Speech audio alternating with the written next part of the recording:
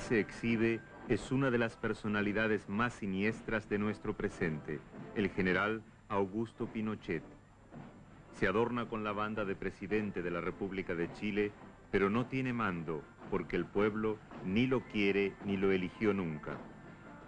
Chile no es más una república, es una dictadura militar. El último que llevó la banda con dignidad como expresión del mandato legítimo atribuido por el pueblo fue el compañero presidente, Salvador Allende. Él defendió hasta el final, el 11 de septiembre de 1973, la voluntad popular que encarnaba y fue depuesto a balazos en la moneda. Luego los golpistas lo sacaron así del Palacio Presidencial. El último presidente legal de Chile atraviesa por última vez Santiago.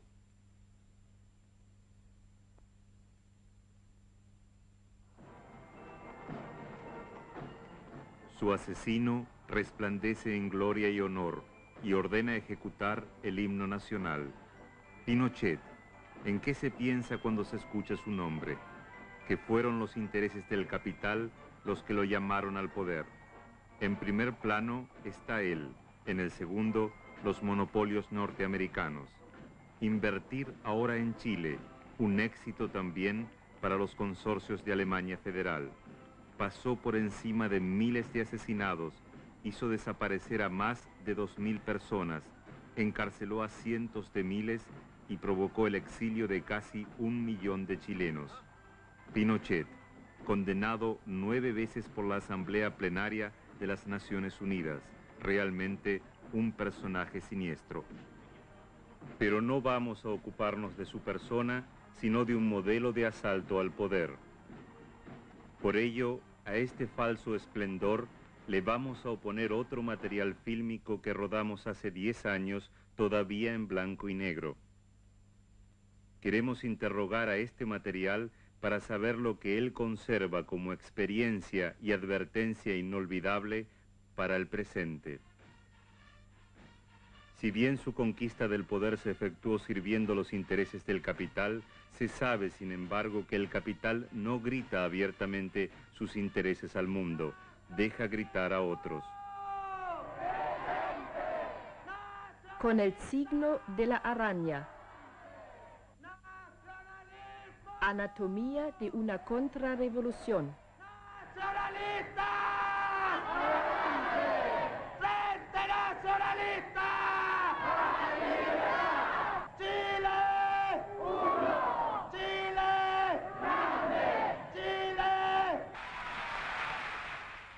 Chile, nacionalismo, Frente Nacionalista. Ellos aprecian encontrarse así, bajo el fuego y el humo de las antorchas. Nacionalismo. Surge algo irracional y místico, algo que tiene que ver con una gran comunidad nacional y su alma, y cualquier aspecto demoníaco no se produce en contra suyo, sino que está provocado premeditadamente. Pablo Rodríguez, un abogado exitoso.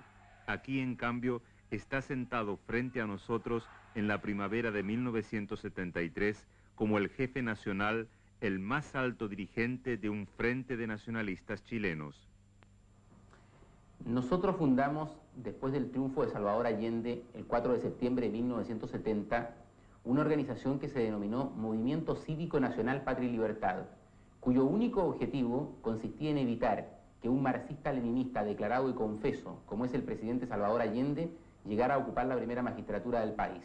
No tuvimos éxito entonces porque el Congreso Nacional, por los parlamentarios de la Unidad Popular y por los parlamentarios de la democracia cristiana, designaron presidente al señor Allende luego de un estatuto de garantías constitucionales.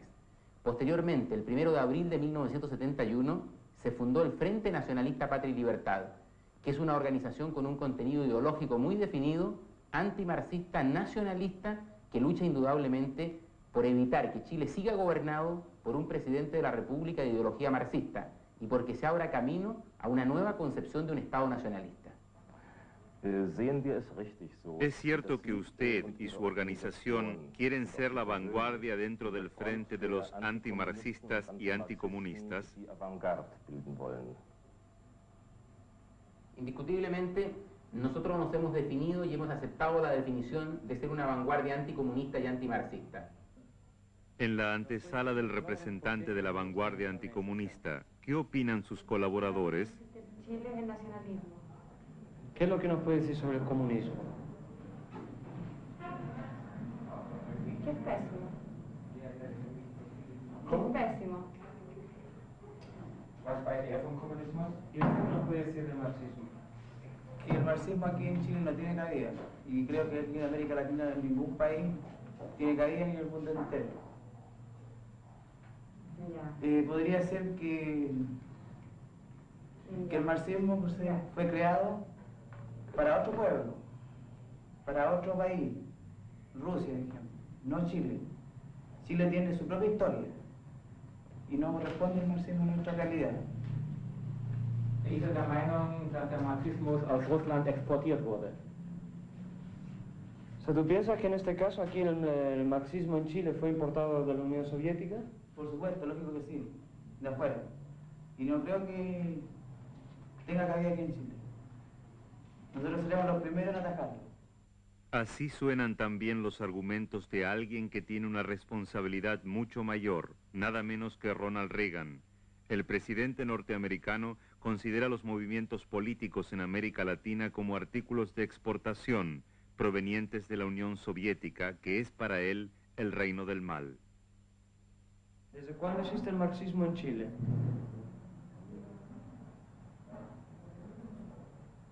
En Chile existe hace dos años. Wurde der Marxismus nach Chile importiert? Eh, ¿Fue importado aquí el marxismo en Chile hace dos años? Sí, wer hat ihn importiert? ¿Quién lo ha importado? Rusia y Cuba. En lo que concierne al tema exportar la revolución, consultamos un viejo rollo de película registrado en 1924. En la capital chilena Santiago, decenas de miles de personas se reúnen en la calle para formar un cortejo fúnebre. El nombre del difunto Luis Emilio Recabarren, uno de los fundadores del Partido Comunista de Chile que dos años antes había surgido del Partido Socialista. ¿Desde cuándo existe entonces el marxismo en Chile? Como lo demuestra este documento cinematográfico, ya era un movimiento de masas hace más de medio siglo.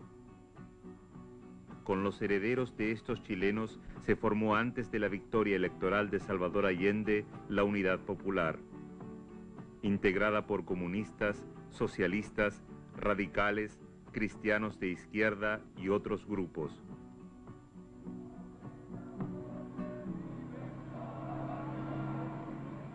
Los jóvenes comunistas que acompañábamos en 1973 en una acción de la Unidad Popular son los nietos de Recabarren y cuando cantan a su partido celebran una tradición combativa que en ese momento en Chile ya tenía medio siglo.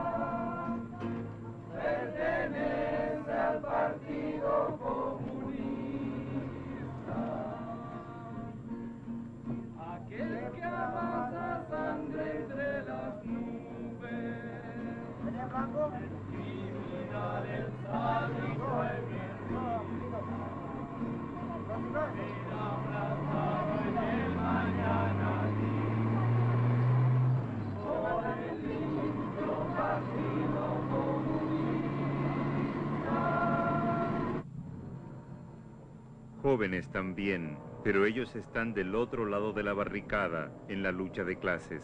También retornan de una acción e ingresan a su cuartel general que se encuentra en el centro de la capital.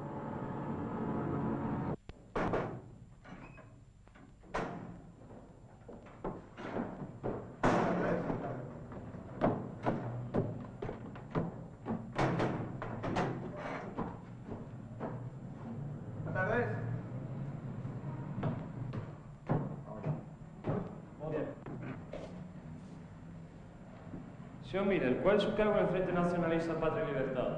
Jefe Nacional de la Juventud, ¿Cuándo fue creada esta organización juvenil? inmediatamente que salió elegido el presidente de la República actual, Salvador Allende. Ernesto Miller, dirigente juvenil de la organización, considera importante colocarse delante del cartel que dice derrotaremos al marxismo.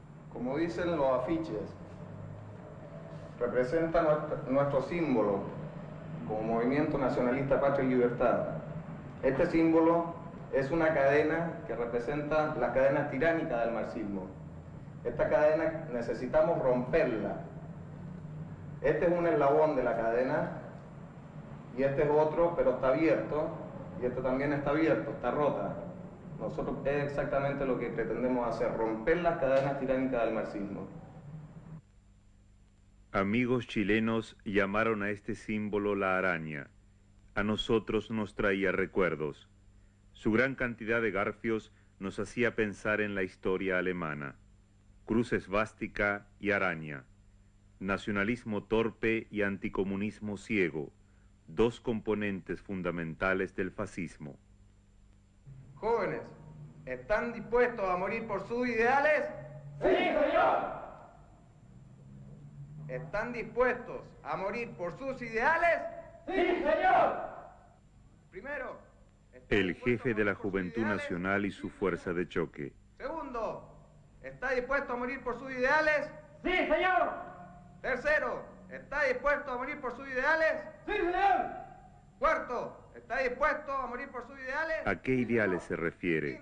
Debe tratarse de un nuevo modelo de sociedad en la que no hay más empresarios y obreros, no hay más campesinos y terratenientes, sino dirigentes de empresa y colaboradores, todos unidos por los ideales nacionalistas. Mediante sentencias grandilocuentes hay que hacer que los jóvenes olviden los enfrentamientos de clases en la sociedad y la mayoría de los que aquí forman fila actúan sin saberlo en contra de sus propios intereses.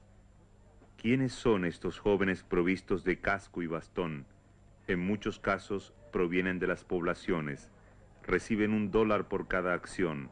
El dinero ha sido puesto a disposición de las reservas de la burguesía chilena y de la caja fuerte del consorcio estadounidense ITT. Un plato de sopa atrajo en aquel entonces también en Alemania a los desocupados a las filas de las tropas de asalto nazis. Pero aquí forman también los hijos e hijas de la burguesía y de la clase media, y ellos siguen a conductores astutos, a esta jefatura experimentada en el arte de la demagogia.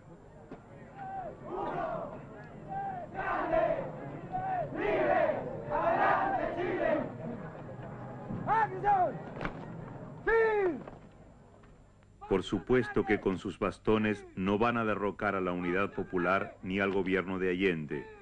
Esta afección a infundir respeto militante nunca representó la verdadera amenaza, pero sí lo que simbolizaba, el llamado a la violencia, a la contrarrevolución. Hace poco usted declaró públicamente que las Fuerzas Armadas de Chile no dejarán su espada envainada en esta lucha contra el marxismo. Esto significa que usted espera que el ejército apoyará su concepto de vencer al marxismo. Si le soy franco, espero las dos cosas.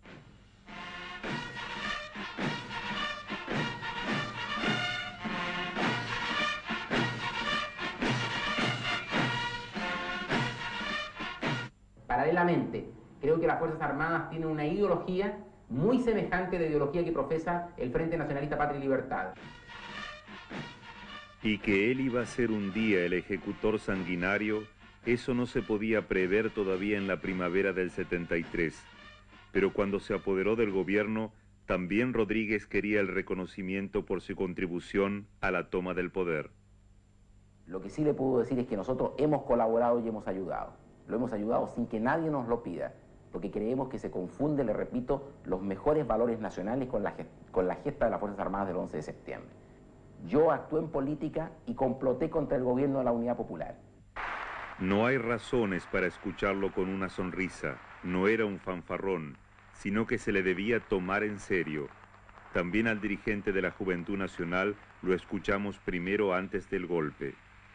Cuento con la honradez de los militares, la falta de oportunismo, su institucionalidad y, y su capacidad. ¿Y cómo juzga después del golpe el rol de su organización? Su ayuda fue más que nada psicológica y moral. Tampoco retrocedían en desatar la violencia brutal. Pusieron en escena tumultos para demostrar precisamente con los mismos que Chile necesitaba un hombre fuerte.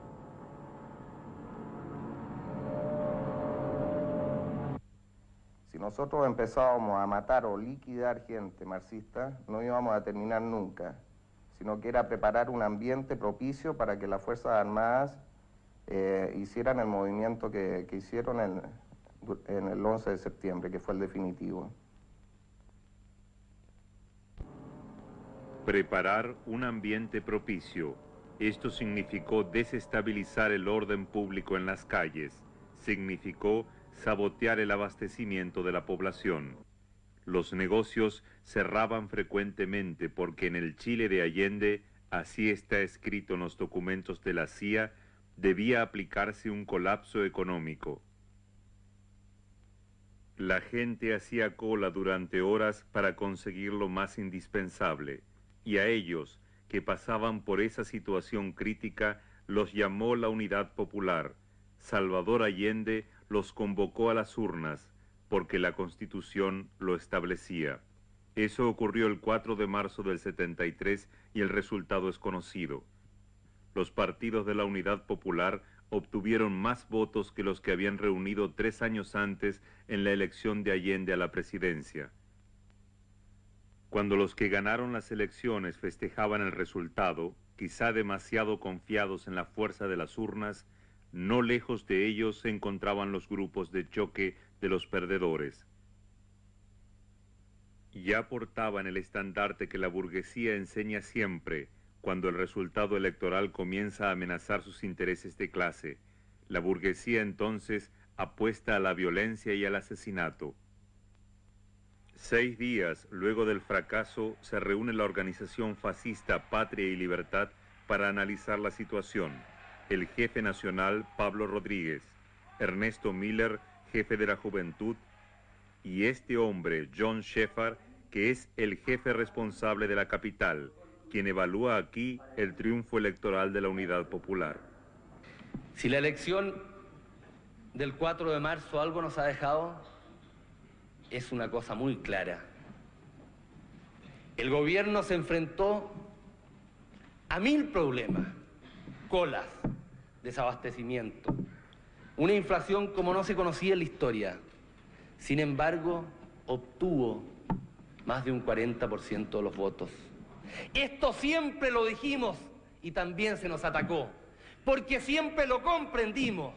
Nosotros siempre hablamos que la unidad popular no bajaría del 40%. ¿Y por qué esto? Porque la unidad popular ha penetrado en una parte importante de nuestro pueblo la ha hecho comprometerse con una causa. Y cuando un hombre está luchando por un ideal, no se le puede cruzar ningún problema en el camino. Luego que las mayorías populares no eran más manejables con los instrumentos de la democracia burguesa, había llegado el momento para la reacción de lanzar nuevos lemas de acción en la lucha contra la unidad popular.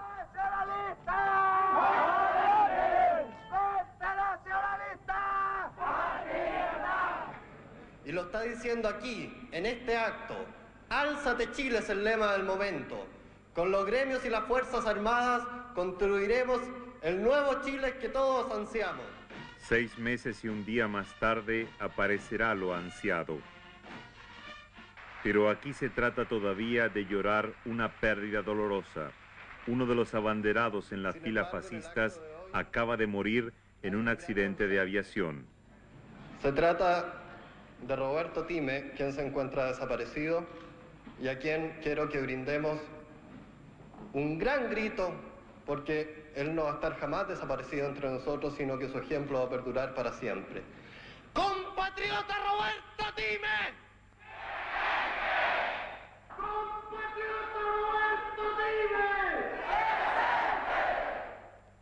El movimiento fascista chileno cuenta ahora con un mártir, Roberto Time, secretario de Patria y Libertad.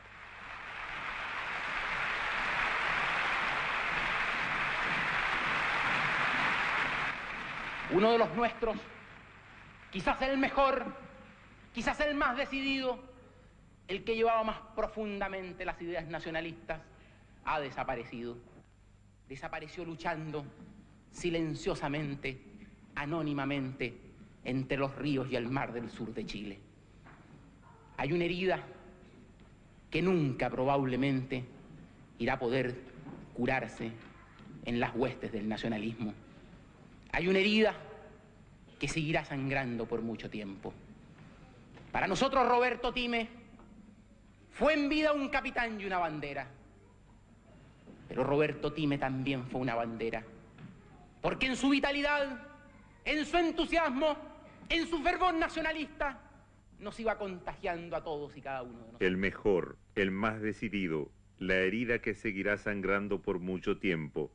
Mientras que estas grandes palabras se pronunciaban acerca suyo, el llorado no estaba muerto, sino que gozaba de plena salud. Bueno, efectivamente, eh, yo simulé el 23 de febrero de 1973 un accidente aéreo.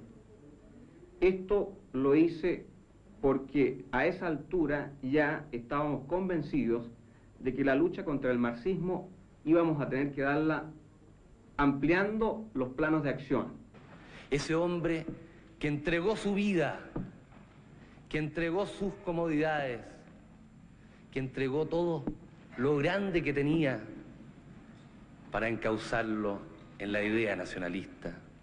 Es por eso entonces que en ese supuesto accidente aéreo yo pasé a la clandestinidad para organizar este frente operacional que posteriormente tuvo una activa participación en las condiciones que hubieron de crearse para la caída de Salvador Allende.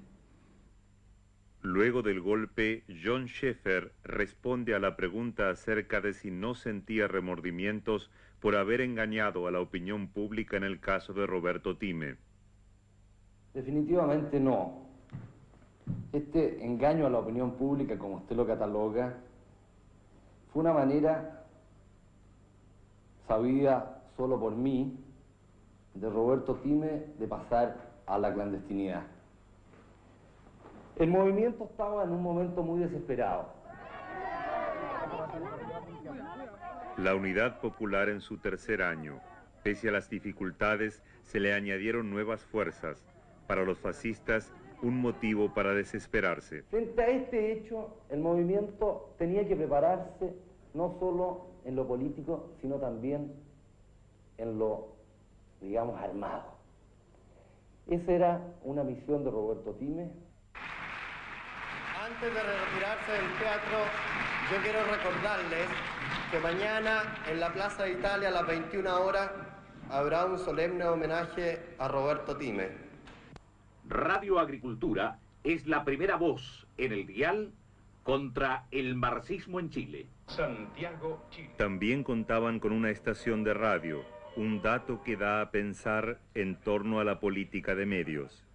Desde esta estación, cada llamado de los fascistas chilenos podía ser difundido a la población de los grandes alrededores de Santiago. Mañana viernes, marcha junto a Patria y Libertad a las 6 de la tarde desde Almirante Barroso con San Pablo hasta Plaza Italia. El nacionalismo rinde un homenaje a Roberto Time. Mientras que el grueso del movimiento marcha lleno de fe, acompañado por la presencia espiritual de Roberto Time, los líderes en primera fila que deberían sonreír manifiestan contenido dolor. Se comportan como verdaderos profesionales en la tragedia que interpretan. Somos testigos de una manipulación a gran escala, magistralmente planificada y puesta en escena. Todos estos funerales que más tarde se revelarán como un espectáculo de engaño colectivo, sin embargo tuvieron lugar en una escenografía seria. En una pared en el centro de la ciudad, el símbolo de la hoz y el martillo convertido en una amenaza de muerte para el marxismo.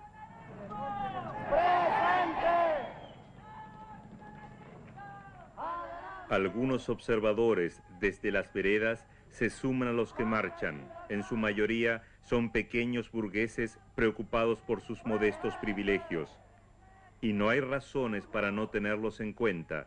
En Alemania, antes de 1933, fueron también los pequeños burgueses los primeros que se sumaron a las columnas nazis, dejándose llevar y arrastrar por las mismas. Dolorosa es la sensación que provocan estas imágenes. Este vehículo con carabineros, las fuerzas del orden del gobierno respetuoso de la ley, representa una especie de escolta de los que hace rato están decididos a pasar a la clandestinidad para desde allí liquidar a este mismo gobierno.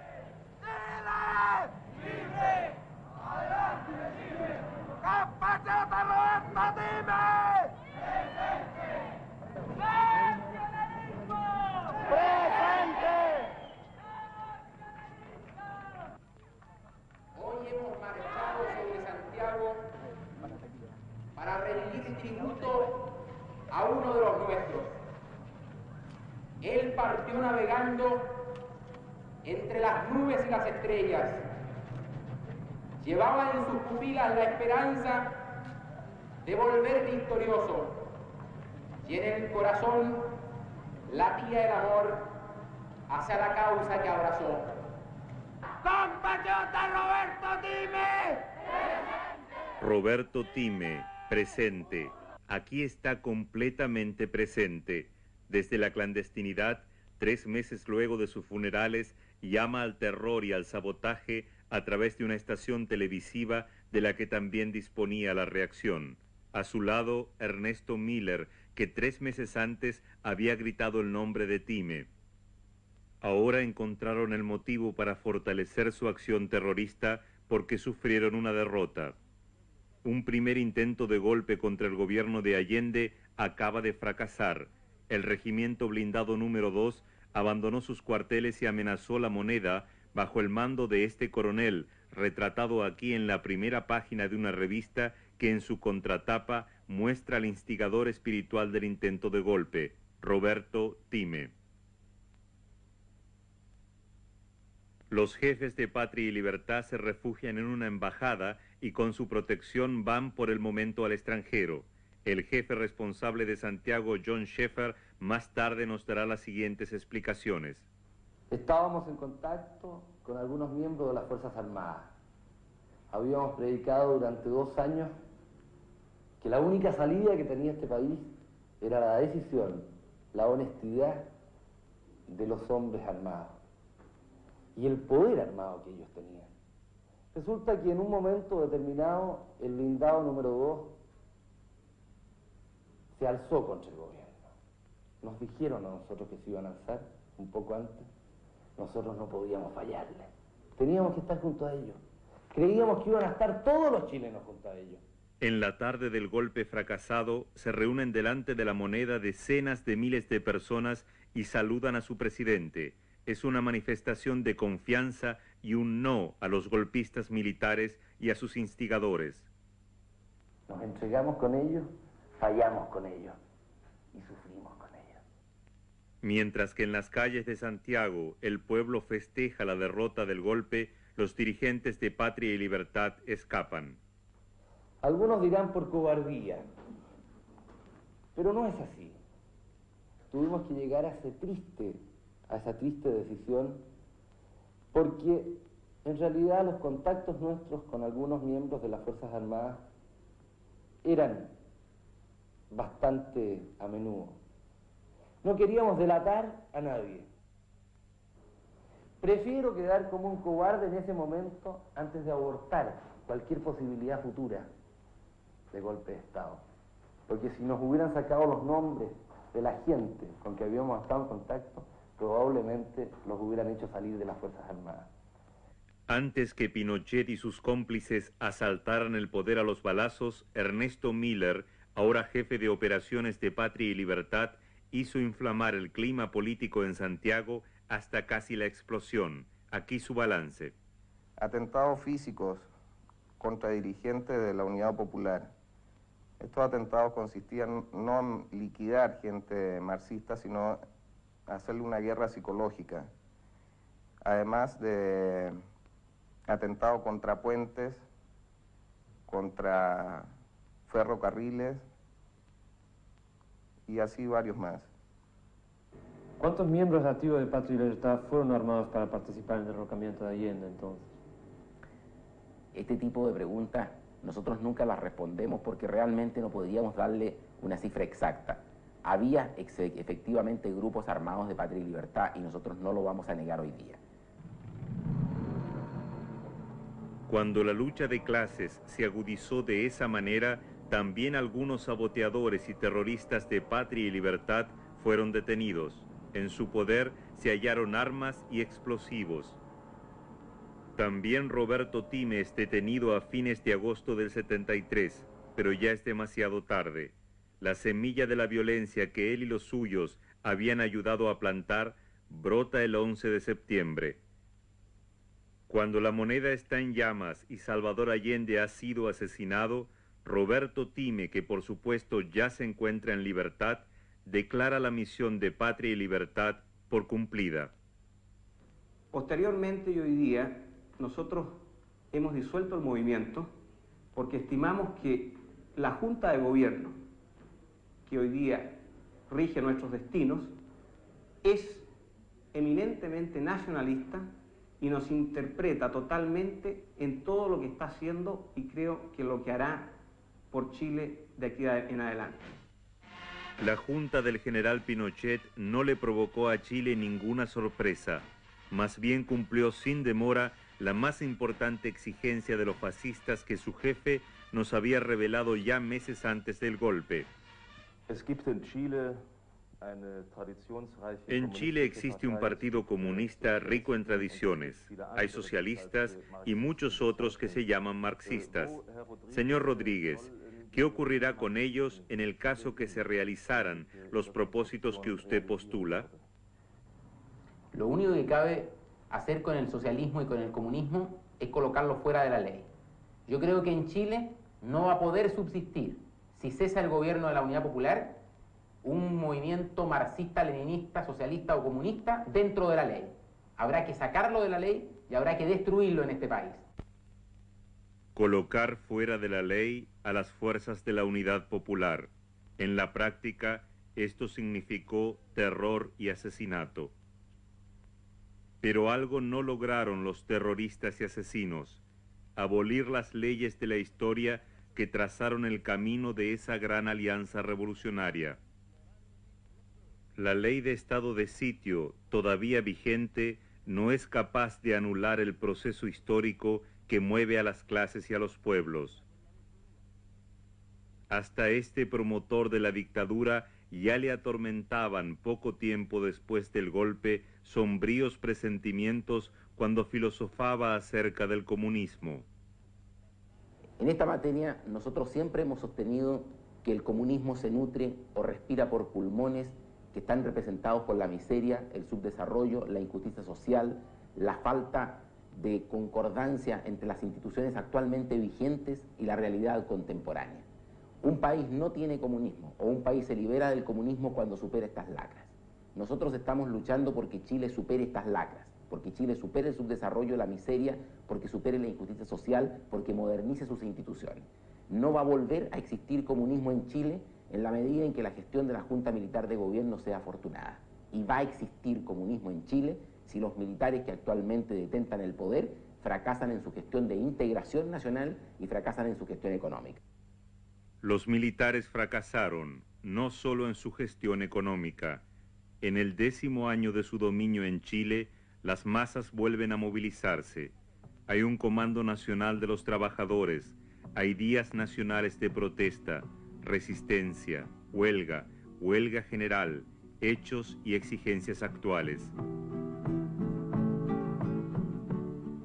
Y en la calle no están solo los militantes de la Unidad Popular, también demócratas cristianos, comerciantes, profesionales, empresarios y camioneros, los mismos que hace 10 años atrás se habían puesto al lado de los golpistas. Chile se encuentra frente a un cambio histórico, dice Luis Corbalán. Los comunistas chilenos apoyan a todas las fuerzas, inclusive militares y partidos de derecha, que tengan la firme voluntad de terminar con la dictadura y de restablecer la democracia. Otro conocido del año 73, Orlando Sáenz, presidente de la Unión de Empresarios, en aquel entonces uno de los adversarios más decididos del gobierno de Allende, luego durante un tiempo ministro de Economía de Pinochet. Su juicio hoy solo queda la ruina económica, social y moral. Y León Vilarín, hace 10 años como jefe de los camioneros, el adversario quizá más fanático de la unidad popular, evalúa así la situación. Hoy es peor que en septiembre del 73, peor que en los últimos 20 años. A la gente un día les puede dar igual si mueren de hambre o por una bala. Hasta la junta militar ya no es más la de aquel entonces. El general Lee, como jefe de la Fuerza Aérea, fue el responsable del bombardeo de la moneda. Hoy retirado, opina, Chile se ha convertido en una marmita a punto de explotar. Porque su dominio hizo que en Chile exista hoy el nivel más alto de desocupación, cada cuarto chileno no tiene trabajo. Su poder hizo que grandes masas de capital extranjero afluyeran al país a cuestas de la industria nativa que no tuvo tantas quiebras en medio siglo como las que sufrió durante los diez años de gobierno de la Junta. Los que pretendieron ser los salvadores de la patria no lograron otra cosa que sumir al país en la miseria. órdenes, condecoraciones, vistosos uniformes, las damas en valiosas pieles. Pero el país no se ha convertido en un paraíso, dice Luis Corbalán, sino en un infierno del hambre y de la desocupación.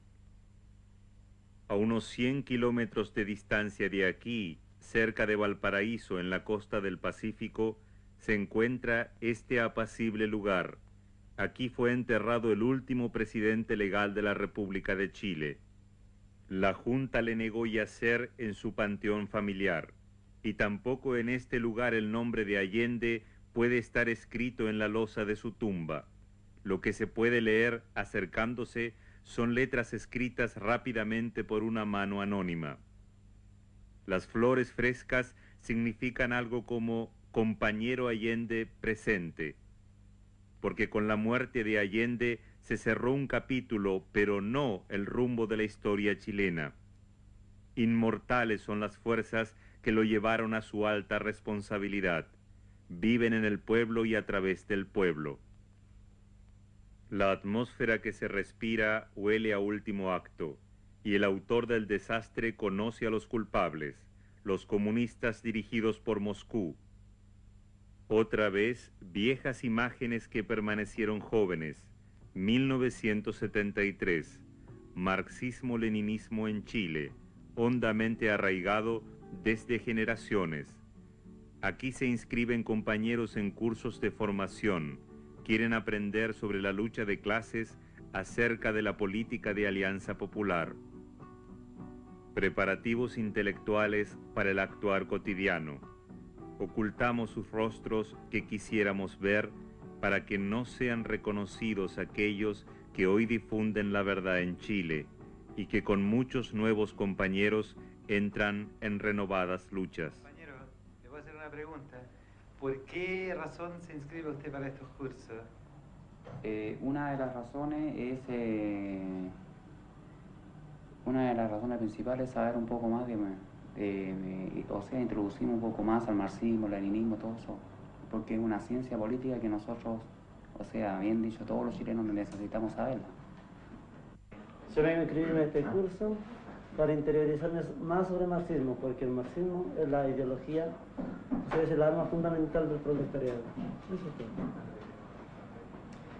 Pero venimos con entusiasmo grande aquí para asistir a este curso. Es una facilidad que están dando aquí para poder orientarnos más hacia el marxismo y para educarnos más a nosotros y para nuestros hijos para el futuro. Yo, eh, yo venía a este curso porque creo que realmente el, el marxismo eh, o sea, es toda una ciencia y además ha creado la rebeldía de los trabajadores, los- el proletariado a nivel mundial, eh, ha creado toda una organización y una lucha revolucionaria para seguir con él. Eh, el marxismo es una, cosa, es una concepción del mundo que cada hombre debe entender en su profundidad. Nosotros somos estudiantes, los dos universitarios, por eso estamos interesados en el curso. ¿Y tú podrías decir por qué te interesa? Lo mismo que él, porque hay que utilizarse, interesarse cada vez más para entender mejor el proceso.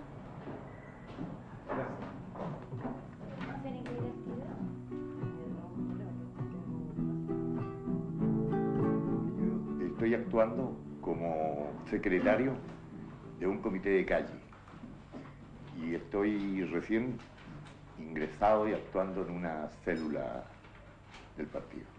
Entonces, hasta el momento lo que yo he aprendido, lo he aprendido comprando libros y cosas y quiero tener una, una educación básica y, y, como le dijera yo, sistemática. Bertolt Brecht. Es bello tomar la palabra en la lucha de clases, llamar a las masas bien alto a la batalla, para que aplasten a los opresores, para que liberen a los oprimidos. Es difícil y útil el trabajo diario, imperceptible, el tenaz y secreto tejer la red del partido ante el cañón de los dueños. Hablar pero esconder al orador, vencer pero esconder al vencedor, morir pero esconder la muerte. ¿Quién no haría mucho por la fama, pero quién lo hará por el silencio? Pues la fama pregunta en vano por los que realizaron la hazaña. Aparezcan por un momento desconocidos de rostros cubiertos y reciban nuestras gracias.